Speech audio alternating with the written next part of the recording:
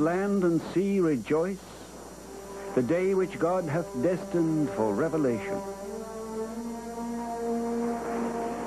That day of God was renewed in the Holy Land a century ago, on the shores of the Mediterranean Sea,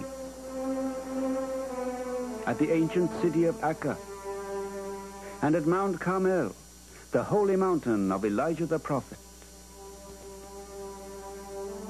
Modern Haifa has grown upward and outward.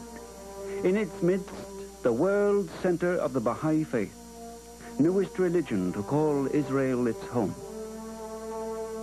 On the mountainside, a beauty spot, whose crown jewel is the shrine of the Bab, the gate to the new revelation. He whose dust was the spirit of Elijah returned to his holy mountain. High on the mountain, a monumental building was soon to rise. It was to be the Ark of Destiny for all mankind, the seat of the Universal House of Justice of the Baha'i Faith.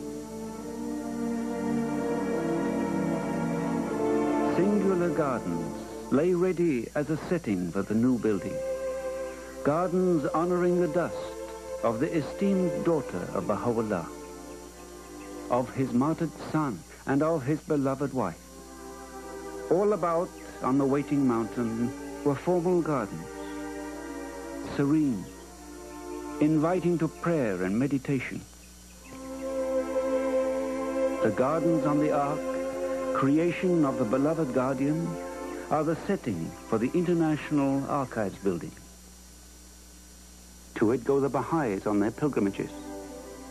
To it went the delegates to the 1973 International Baha'i Convention. At the shrine of the Blessed Bab, they paid homage to the herald of the faith. Climbing the pilgrim path in awe.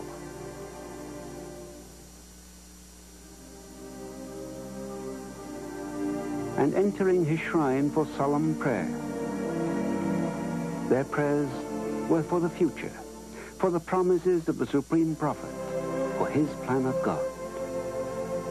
For in this hour, they were to dedicate the site for the seat of the Universal House of Justice. At the top of the arc on the bare mountain slope, there the great building was to stand.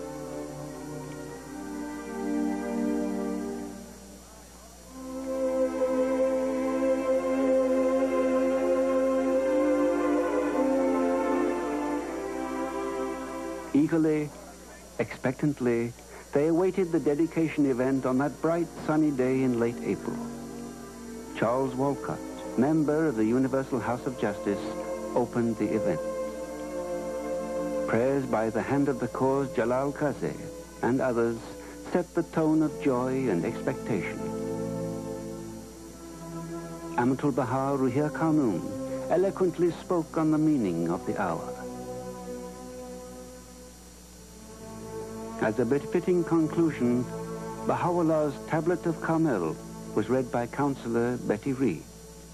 Rejoice, for God hath in this day established upon thee his throne, hath made thee the dawning place of his signs, and the dayspring of the evidences of his revelation. All was suffused with joy at this prelude to a great labor of love. But soon would arise a beacon from which would stream guidance for mankind.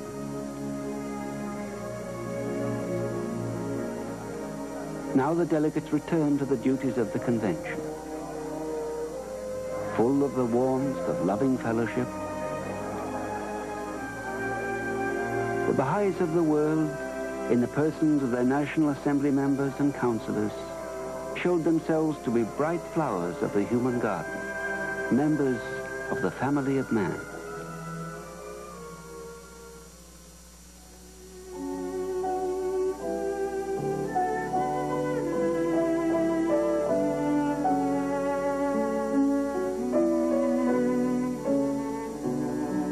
The design of architect Hossein Amanat was chosen for a building in the classical Corinthian order. In Iran, his architectural group set to work on a design harmonious with the shrine and the archive building. From early 1973, our team started work on the immense detail needed for the great edifice. We prepared a simple model showing the relationships of the five buildings of the Baha'i World Administrative Center. With the seat of the Universal House of Justice highest on the mountain. On each side, there were to be two buildings. On the east, the International Teaching Center. On the west, the Center for the Study of the Sacred Text. The International Archives, already built, lay opposite to the future International Baha'i Library. Our north elevation shows a simple classical building in harmony with the archive. This section exposes the two wings, east and west, mostly used as functional spaces for offices. The council chamber, the heart of the building, is in an octagonal court, inspired from the geometry of Persian architecture. This core contains three other main spaces, the multi-purpose room, the entrance hall, and rotunda. The detailing of the project was a huge task. For example, the Corinthian capital had to be drawn at full size. Work was very intense for the first three years and lasted until the building was occupied. In 1976, we shipped the initial working drawings to the site office in Haifa. Various details of the construction were discussed with Mr. Aziz Khabihur, who accepted to be the resident engineer. Hundreds of drawings had to be prepared for the guidance of the engineers and contractors. For this unique building, completely new to our time. It was now the time of the engineer, when concepts and plans soon were to become concrete and steel, marble and granite, fittings and furnishings.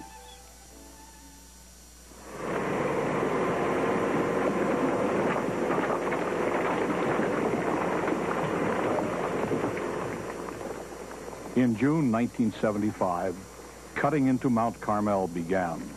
The excavation aided by noisy metal monsters. Caves were encountered in the limestone, into which great volumes of concrete were poured, with grouting of the fissures. The soft Carmel limestone was readily pulverized by many metal jaws, until, by December 1976, a platform and terraces were shaped for the giant building. At bedrock level, trenches and footings were hacked from the stone. The first pillars and walls soon sprouted from the rock floor.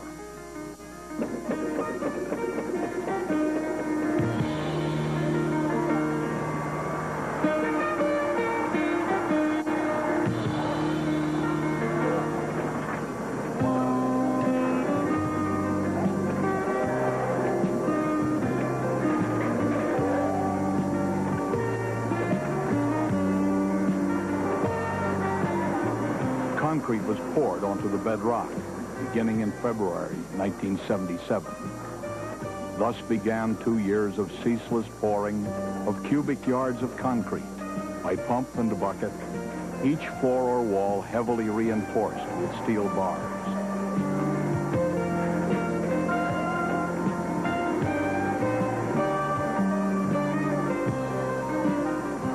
The outer walls and inner pillars began to rise first shaping the lower basement on its eastern face. Above the lower basement, the upper basement took shape, its foundation floor extending to the western edge of the building.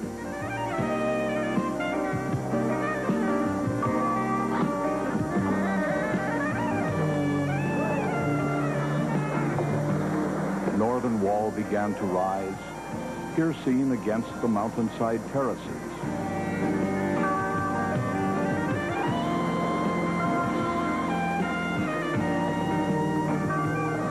Massive slab of the ground floor took shape, a slab which would become the grand concourse.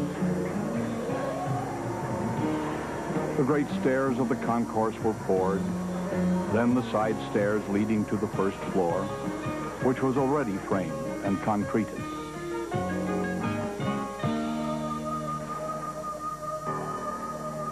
The first floor was marked by the council chamber base with its waffle slab of white Ytong blocks. Massive sheets of concrete were poured for the office spaces later to be occupied by members of the House of Justice, and soon the second floor was completed.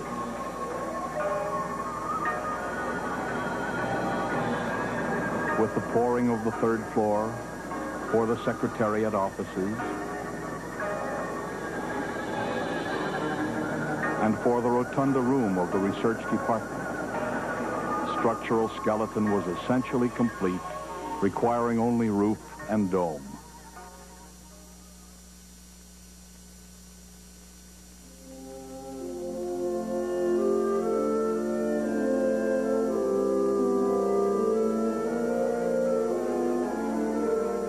Delegates to the 1978 International Convention celebrated a special event, the further dedication of the building.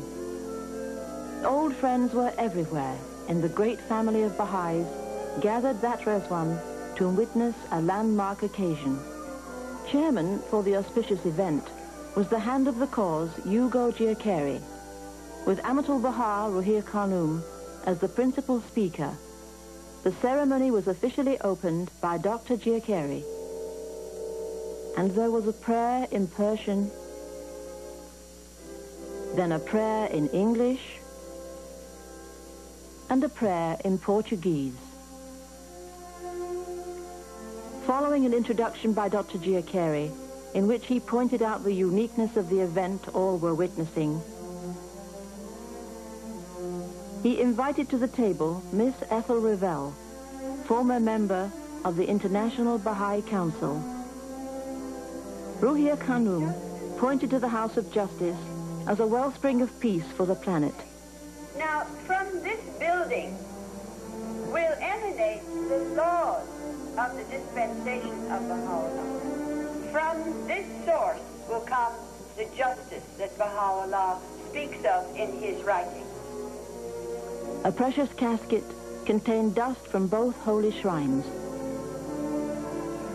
Climbing the temporary steps of scaffolding, Ruhiyyih Khanum was followed by architect Hossein Amanat carrying the casket and by resident engineer Aziz Khabipur.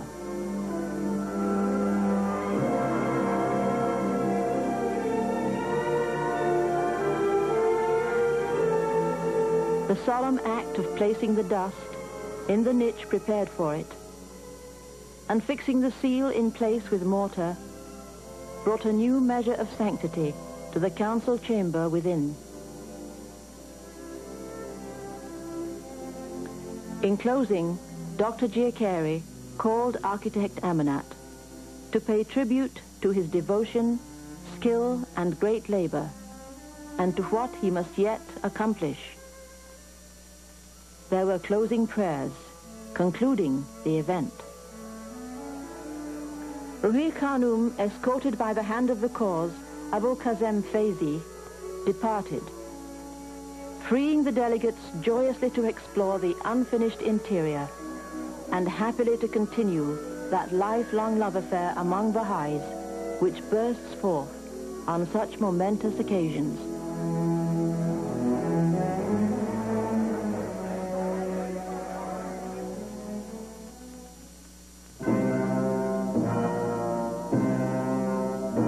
Great historic buildings of Athens were constructed of marble for its beauty and durability.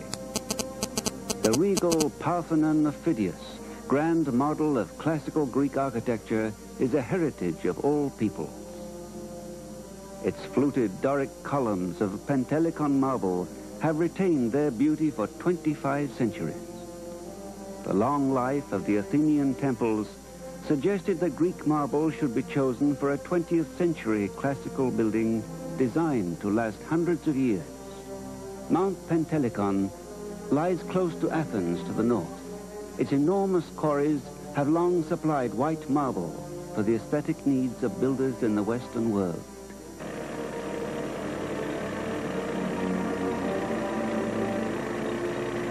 For the new building, the quarrymen cut great blocks of marble from the mountain. The blocks were rough-hewn to fit the specifications for shafts, bases, capitals, and flat pieces.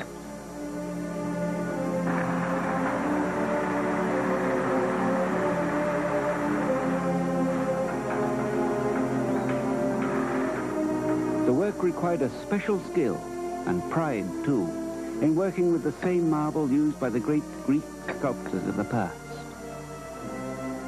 Block by block, the raw pieces were cut from Mount Pentelicon to be sent by sea to the mountain town of Chiampo in Italy, home of the finest marble artisans.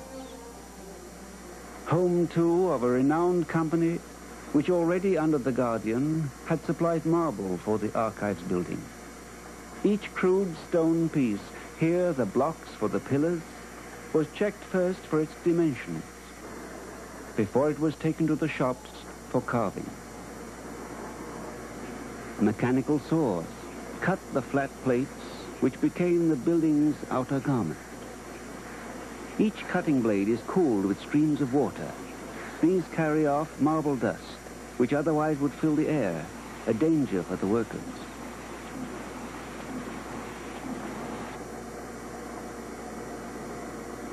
Inside the great shops, careful craftsmen precisely cut entablature pieces, grinding the great plates with incredible nicety, with the aid of newly devised electronic controls.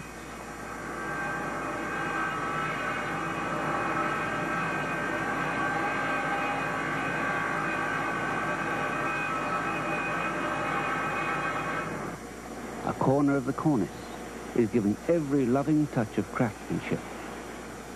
Few will see the egg and dart and bead designs of the high cornice, but nevertheless, each is lovingly crafted.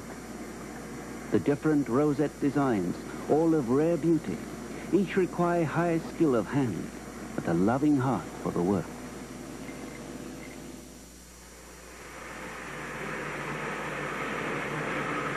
Pillars are cut in the yard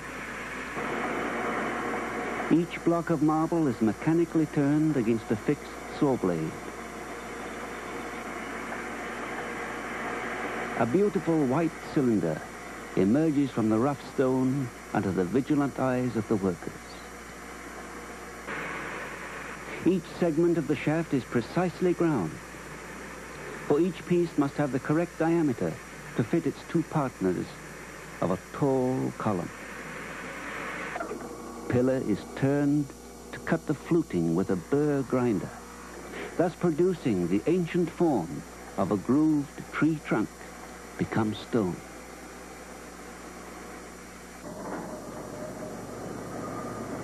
Great cubes of marble were assigned a special destiny to become the Corinthian capitals of the columns. Sent to the cutting table, the first action is to hack away the excess marble at the corners of each block. Then, ingenious, computer-controlled, high-speed circular saws shape each capital, mechanically forming its main volumes and contours. The speeding disc saw is cooled with the water, which also washes away the marble dust.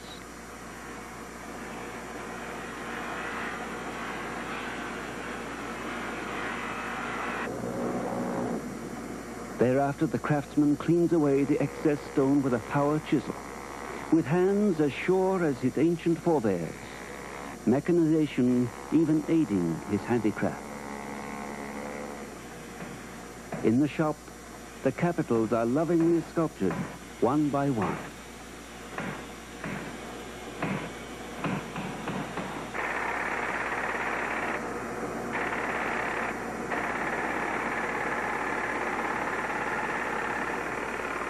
The acanthus leaves begin to emerge. The modern craftsman in marble handles power tools with that master's touch which carvers of ancient Roman times and of the Renaissance once achieved with hammer and chisel. Now carving a leaf of the middle row. Now carving the leaflets of the frond itself, carefully revealing the symmetry and beauty within the marble. Rib and vein, the leaf form emerges gracefully from the stone. At the capital's top, a flowing scroll is fashioned and ground to a shining surface to become a thing of beauty of the century.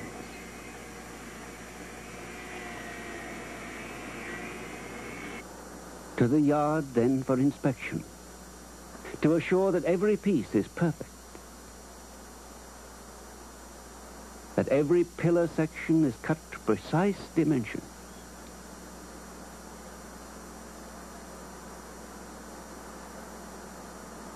that every capital is a flawless piece of art in marble.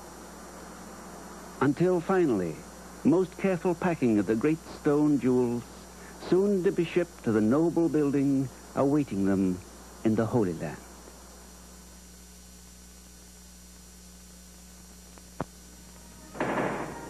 The massive gray concrete walls required the beauty and grace of a marble covering. French craftsmen came to hang the white marble plates from every surface of the exposed outer walls. Soon a luminous skin was created to reflect the bright sun of the Holy Land. The bases of the columns were the first to be placed. Each plinth set on the concrete platform, there to await the free shaft pieces. The first shaft segment is carefully swung upward to its base.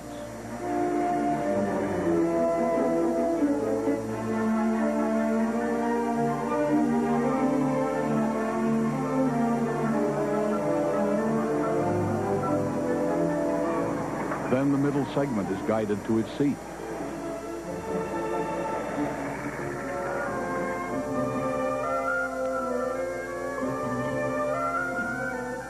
A third segment caps each completed shaft, now awaiting the capitals.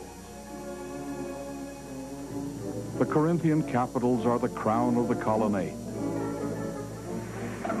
Extreme care must be exercised in lifting each heavy capital to its high permanent home.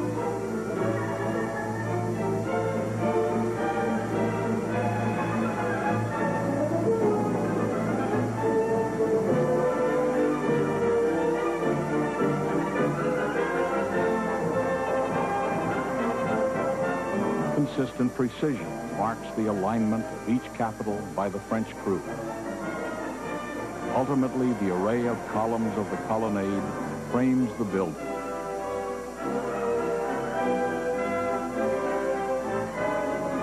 The great front stairs are framed by the carpenters for casting in concrete.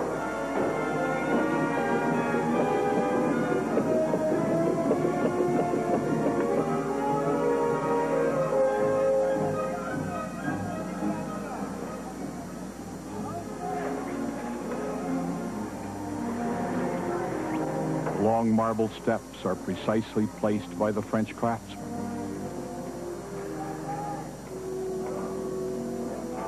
The massive concrete lateral arms of the stairs welcome the magnificent marble blocks which are their cover.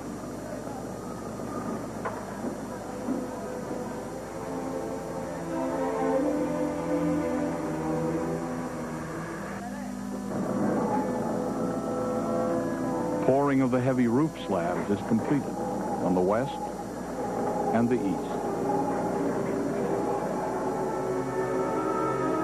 With the roof completed, drum and cornice cast, wooden framing began for the concrete cap of the dome.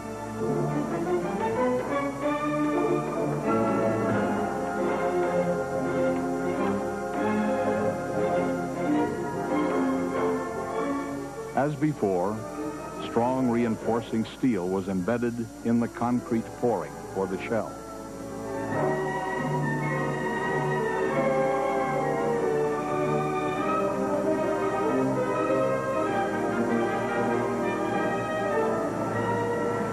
All cement surfaces were painted with bitumen as waterproofing.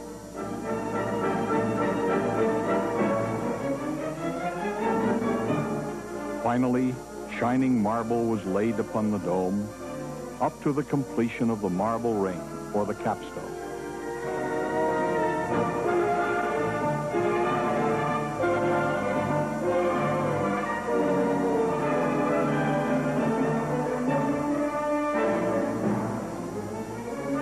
With the capstone rim completed, the dome port was ready to receive the capstone.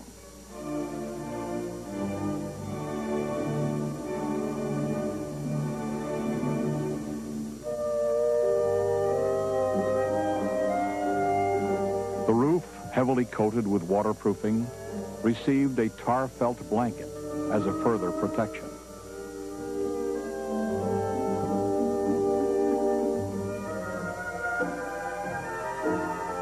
A layer of insulation was placed against the sun's heat.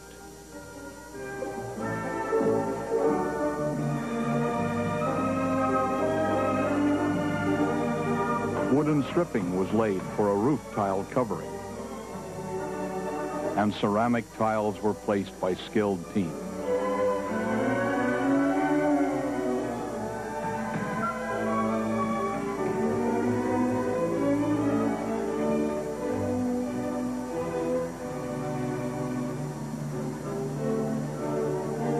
After 10 years of planning and construction by Persians, Jews and Arabs, Frenchmen and Italians, Americans, New Zealanders, and a legion of others, and through contributions by persons from the whole Baha'i world, great building stood ready for its occupants.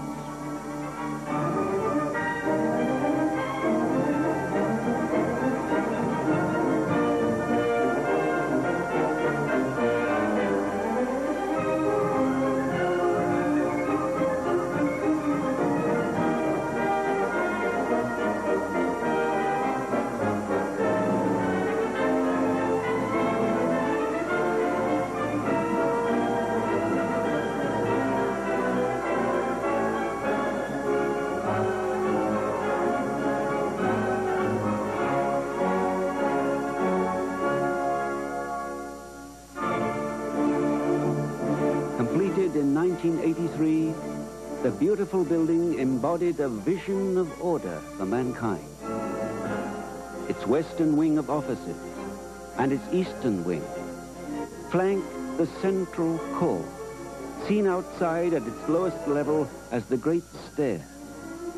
The living core is felt in the multipurpose room, in the central hall of the Grand Concourse, in the council chamber of the House of Justice, and in the research department, present home of the writing, from which comes guidance for the new day of God.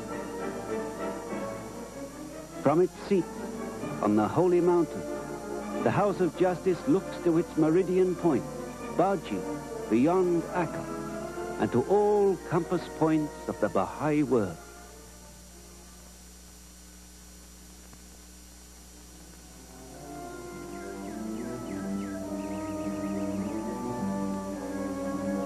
With the dawn of each new day on the holy mountain, the living building warmly receives its Baha'i workers.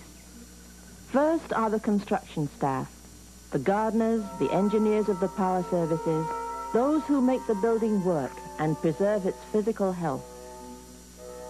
Simultaneously, the maintenance staff streams in to see that cleanliness and order are maintained in the building. Most are young people, volunteers from the four corners of the world, joyously giving special and hard service for months or years. In the engine room, air chillers for a hot land wine into action. The furnaces are checked for their use when cold weather comes. A diesel generator awaits any emergency while the power mains bring in electricity for every need. All the mechanical services feed into the building through the great corridor under the colonnade. Soon arrives the office staff, flowing into the staff doorway at the lower basement. Each morning, feeling afresh the honor of serving in this hallowed building. Some walk upstairs, passing the bookstore with its exciting displays of Baha'i literature. In the Department of Finance, work begins promptly. The treasurer and his associates are involved with increasingly complex responsibilities for worldwide Baha'i activities, which require well-trained staff of reliable and efficient Baha'is. Next door is the data processing service, much needed by the departments of the World Center. Baha'i computer scientists, engineers, analysts, programmers have begun to revolutionize the efficiency and capacities of the staff. Computers will make it possible to manage the heavy administrative demands of the growing Baha'i world community. Once a week, the World Center Friends meet in the multi-purpose room for prayers and for... Wonderful news. The Foreign Minister of the Netherlands yesterday addressed the General Assembly of the United Nations on the Baha'i persecutions in Iran.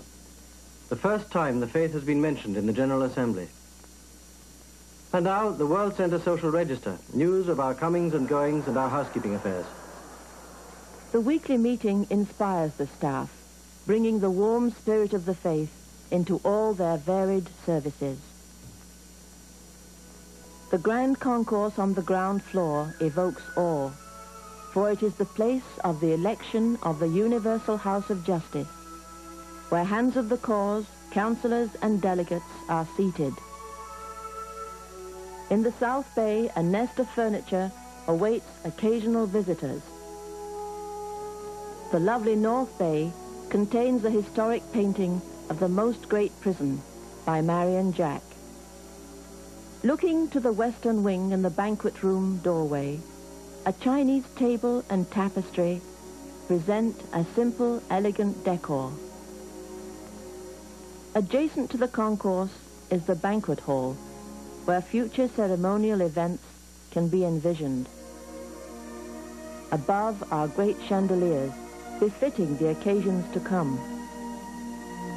Overhead in the balcony of the hall, a workaday vital labor goes on, for the World Center Library is there, developing its resources for research and services, seeking to acquire every publication having reference to the Baha'i faith.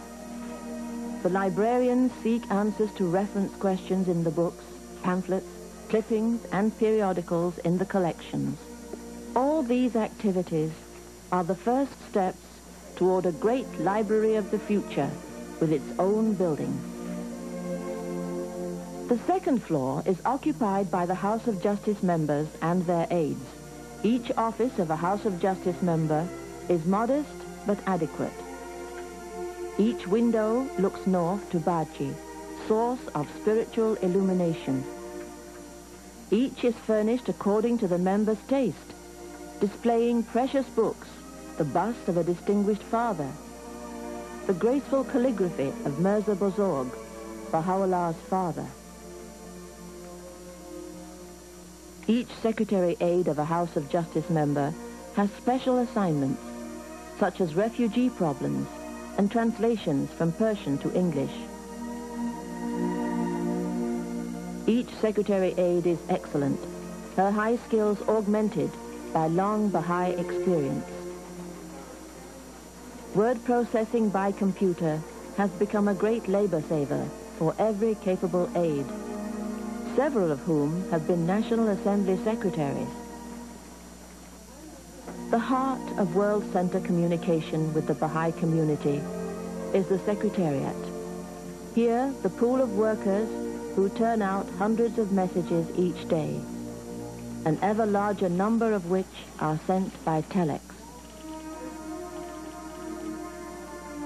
All papers, incoming and outgoing, ultimately are consigned to the master reference file, a massive storage and retrieval system which requires detailed work by many people. The workers are painstaking and persistent in their difficult tasks, keeping order amid the flood of letters whose accurate indexing and filing makes rapid retrieval possible. The research department serves the World Center, calling upon the extensive files of copies of the holy writings of the faith. The research staff responds to questions from many sources, but principally from the House of Justice. There is frequent consultation on improving translations and on references from the boundless wealth of the writings. And there is endless indexing and making extracts from the holy texts. The Department of Statistics measures the progress of the faith in many dimensions of its expansion and consolidation, collecting and recording facts from national assemblies and their committees, from letters, from every available source. Data are fed into a computer bank for later retrieval and for analysis by trained statisticians who study the quality of Baha'i growth worldwide. At each day's end, from every department, the staff streams forth from the building, ever aware of the rare opportunity for service which they have been given.